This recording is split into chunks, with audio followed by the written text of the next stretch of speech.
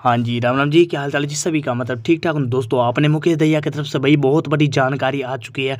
उन्होंने दोस्तों फाइनली बता दिया कि भाई कुनवा धर्म के एपिसोड नंबर दोस्तों बत्तीस कब को आने वाला है, जिसमें कि दोस्तों आपको बुढ़िया देखने को नहीं मिलेगी। यानी कि दोस्तों बुढ़िया की मौत हो जाएगी।